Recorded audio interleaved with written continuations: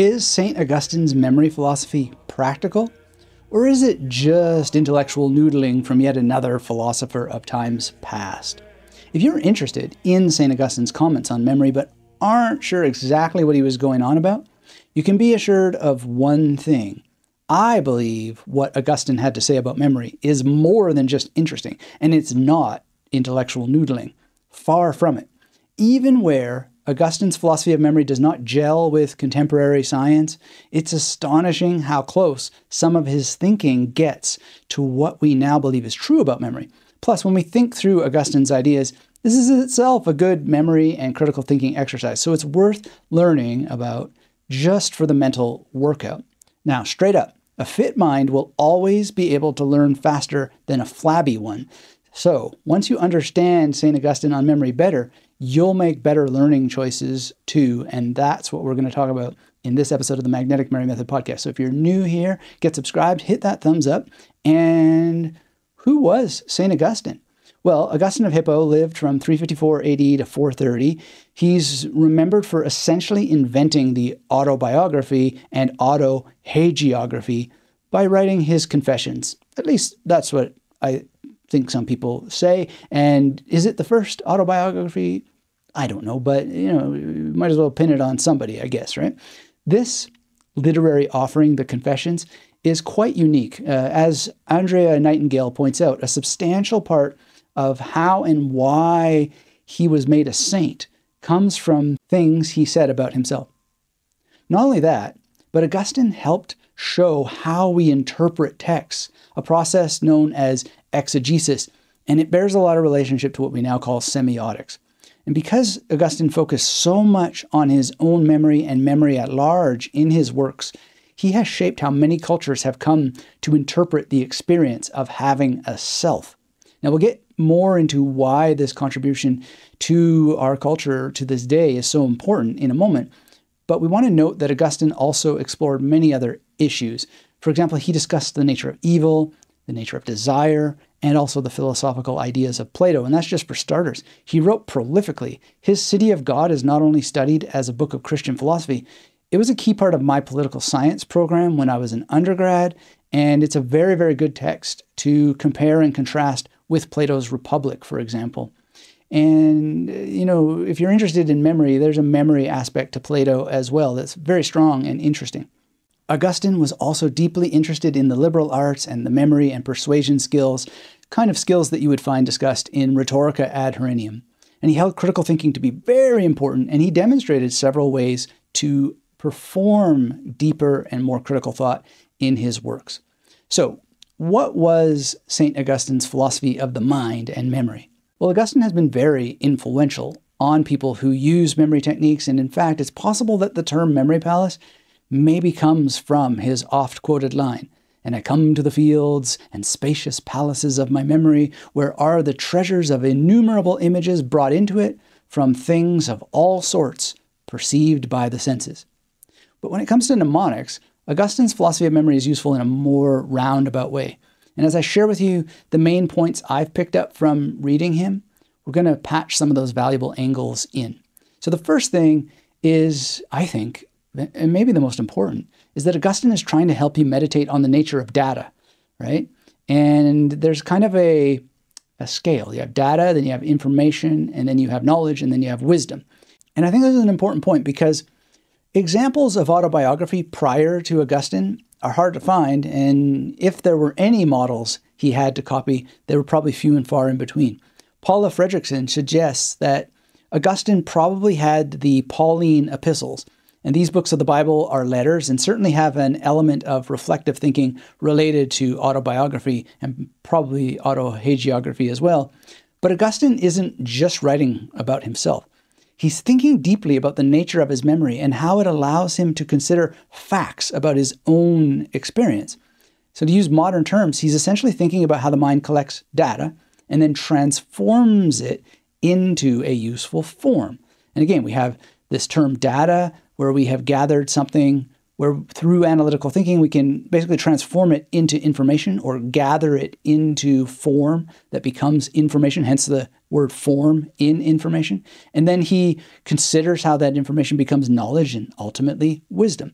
Now, these aren't merely philosophical questions of epistemology, they are questions of the art and science of how we know something is true or false and how we can reflect on it philosophically in many, many ways beyond epistemology. We can think about things ontologically, for example, which is the nature of being itself. And that's uh, what is happening in Confessions a lot. He's asking what is the nature of his being, and often he does it through the lens of not just memory, but the experience of memory.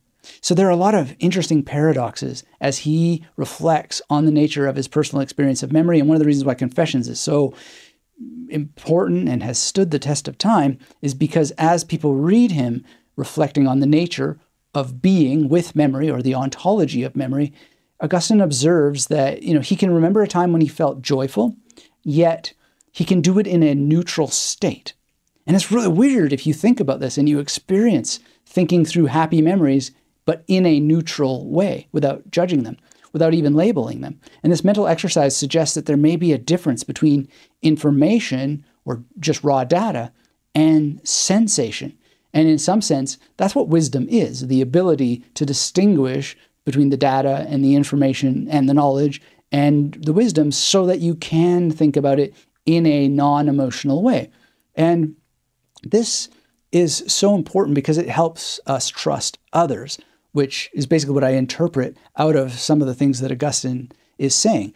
We can use this partitioning out of what information is versus data versus knowledge and wisdom in a way that helps us not get caught up in things like superstition. We get to analyze things rationally, and sometimes we can even let go of bad memories that we may have about other people or groups and maybe another way of making this point is that part of our memory allows for rational and logical thinking. So we can use our memory to sort, sift, and screen a variety of sensations or data that we have about the sensations that we've experienced. And then we can use our minds to make them more meaningful, specifically through the application of categorizing them, making them into information in form, right? And so I believe Augustine's reflective thinking on categories probably influenced Ramon Lull's development of the memory wheel. I'm not entirely sure about that, but I, th- I think it's a fair guess that something like that may have been going on in the history of ideas, the history of structured thought, the history of memory. To take things a step further, Augustine seems to suggest that we use our memory to make memory itself meaningful to us. And also it's almost like mnestic memory. So mnestic memory is M N E S T I C, and it is basically like the memory of memories, the memory of memory itself. Think of this from the Confessions. The interior sense perceives not only the things referred to it by the five senses, but also the sensations themselves. Then later, Augustine writes that memory is a faculty of myself and belongs to my nature. In fact, I cannot totally grasp all that I am. The mind is not large enough to contain itself. When I remember memory, my memory is present to itself by itself. Nothing is so much in the memory as memory itself. Anamnesis seems to suggest that we're uncovering or unhiding or discovering something in memory that is already there.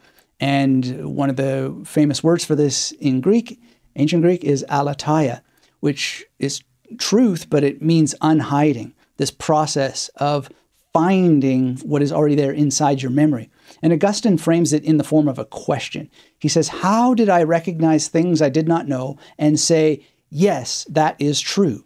The answer must be that they were already in my memory, but remote and pushed back, as in the most secret caverns now, I think this is a feel good idea. It allows for a philosophy in which humans are made in the image of a creator.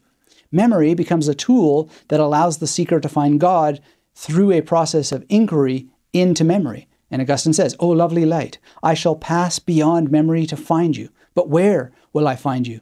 If I find you beyond my memory, then I shall be without memory of you. And how will I find you if I am without memory of you?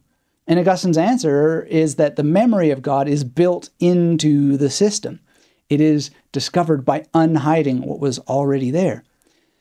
But these days, many of us recognize a more Darwinistic impulse towards belief as a survival strategy in the face of a universe in which life is the exception to the rule, with no empirical demonstration of a reason why anything should exist. And there's a material reductionism here. And I'm not saying that one is better than the other. I would probably personally follow more a materialism than an idealism, for example. But I think that, you know, we all need to work these things through. And Augustine is so good at helping us think these thoughts and think about them through the lens of memory. And another important realm here is that Augustine's a priori style of thinking about memory is something we can think about in terms of Nietzsche's rumination on memory, especially in his book Human, All Too Human. So I just use this word rumination and I think that's another aspect that is so powerful in Augustine. He sees memory as something like the series of stomachs that you see in cows. They have these multiple stomachs. And he says that memory is the stomach of the mind and that it digests different kinds of thoughts at different rates of speed, maybe at the speed of data, information, knowledge, and wisdom. And some of these thoughts that pass through these multiple stomachs, he may have picked up from Stoicism. So he has these four perturbations or perturbations. There's fear, desire, joy, and sadness. And these are categories we can think through when trying to understand memories that arise through autobiographical memory processes when we're thinking about our own lives. Or we can use these specific categories when thinking about what it is that we want to do in the future. And this would include thinking through what sometimes holds us back from taking action on those things that we really need to get done. Uh, I, I, all of this is just super influential on the history of the memory tradition. The memory wheels with Ramon Lull, I'm sure of it, and Ars Combinatoria in Giordano Bruno. And so, long story short, I think Augustine seems preternaturally aware that short term memory or working memory operates more efficiently when we're dealing with smaller units of information and letting them pass through these different stages, less becomes more because we become aware of different stages, different categories of where we can focus on is it data, is it information, is it knowledge, is it wisdom. Now, although Augustine goes to great length that memory is essentially spiritual in his view, I think he's ultimately very practical. He sees memory as something that can be astonishingly easy for some things, like remembering the colors and the days of the week. And part of this effect, St. Augustine notes, is coming from something we call context dependent memory.